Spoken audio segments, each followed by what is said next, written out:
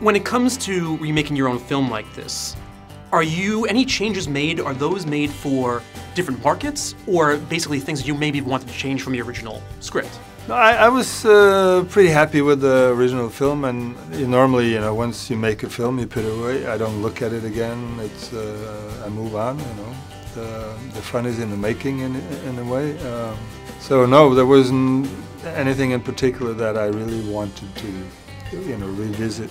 Uh, but obviously, it was changed because it's in a, set in a different culture. It's um, uh, different circumstances. Uh, so that's what informed most of the changes. When it comes to remaking a movie like this, do you find it helpful or hindrance to go back to the original at all? Um, no, I saw the original. Uh, it was screened for me by Michael Shamberg, a wonderful producer. Um, and I, I adore Stellan Skarsgård and Bruno Ganz, two heavyweight actors. And I'm watching this thing and I want to laugh, and I'm feeling embarrassed. I think, oh, I want to laugh again, you know. So I met Michael afterwards, and I said, Michael, I, I want to laugh a lot. He said, That's good. That's good. That's what we want. So we're going to do an American version. Would you play the Stellan part? I said, I'd love to.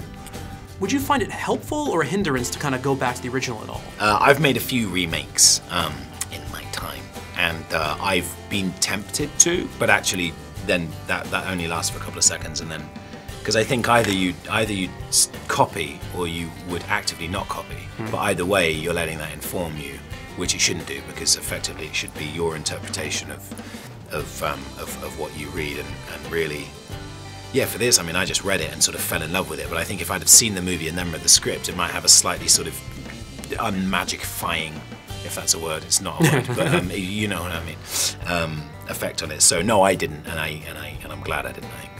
Now, obviously, when White Bull joins into our part of the film, we know his motivations. But in certain ways, him and his group are, are very kind of light-hearted in a sense. Were you at all interested in kind of getting a back, whole backstory on him for that, or just dealing with what he has to deal with in this film? let me take it off track a little and say I think that that First Nation people, Indian people, are very funny just generally.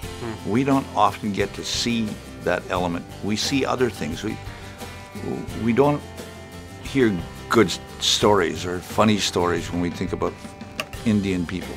It was very refreshing for me, uh, not only to know that this story goes there, but also to see it played out by my brothers. I mean, I know most of the actors, and to see them, you know, and their skills and do their work and to be as funny as they are. Uh, Raoul is a very funny guy.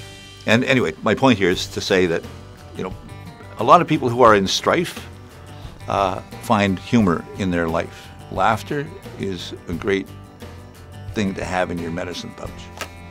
Well, ever since, you know, Taken, a lot of people will think Liam Neeson, they'll think revenge, and they think they know what they're gonna get. Do you like to use that toward your advantage to bring them in to say, no, I'm giving you something completely different? Oh, sure, yeah, yeah, yeah. I mean, there's uh, this. I'm looking at this poster here, which looks, oh yeah, that's a definite revenge movie, you know. But uh, we do want to push the, the big, heavy-duty thread of humor that goes through the whole thing, you know, uh, and the ridiculousness of seeking revenge because it mm. just doesn't lead you anywhere other than to uh, just trouble, you know.